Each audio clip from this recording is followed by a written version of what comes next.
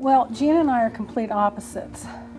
Complete opposites. So, where he is very calm, methodical, I, on the other hand, fly off the handle, get really upset, I get emotional, I, I want it done now. I think we end up soothing each other even though we're complete opposites. Because he has to soothe me to bring me down, like calm down, that we'll, it's gonna work out, we're gonna get it, we're gonna get to the, to what we need. So, you know, he's dealing with that. And I can go in and say, you know, you're awfully quiet, what's wrong? Tell me what's wrong. Let's talk about it. Communication, like I say, and uh, you know, always there, always, you know, willing to talk to one another about things and not just, you know, throw up your hands and walk away type thing. What attracted to me, to him to me, was obviously things I'd never want to change.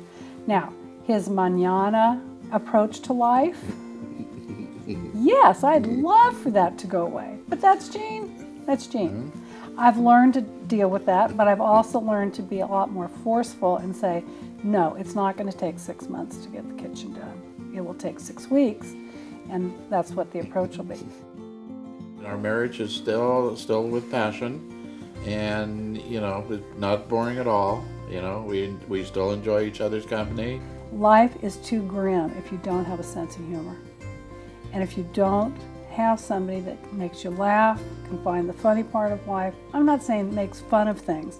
I'm saying actually can find humor when it can be pretty bleak out there.